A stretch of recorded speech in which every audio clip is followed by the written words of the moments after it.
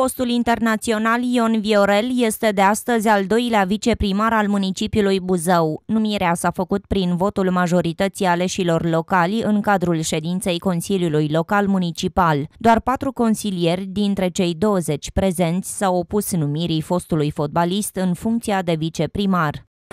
Sper uh, prin numirea mea să fac tot ce posibil, cum am făcut și în alte domenii, să să fac numai bine. Mulțumesc domnului primar că a avut încredere și mi-a acordat acest prilej și privilegiu să fiu viceprimar al municipiului Buzău.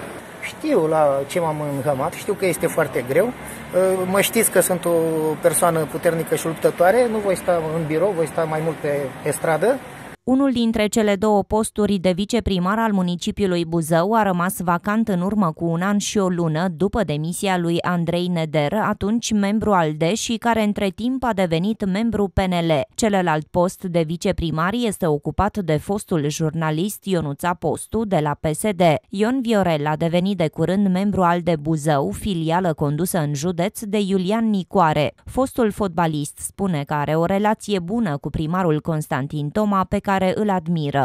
Știți foarte bine că de când am ieșit consilier, în cei patru ani de zile, mai e puțin să fac patru ani de zile, am susținut în totalitate proiectele dânsului și cred că ați văzut ce s-a făcut în Buzău, fără falsă modestie, nu că m-a ales pe mine, sunteți în măsură să judecați și buzoieni și dumneavoastră, s-au făcut numai lucruri bune.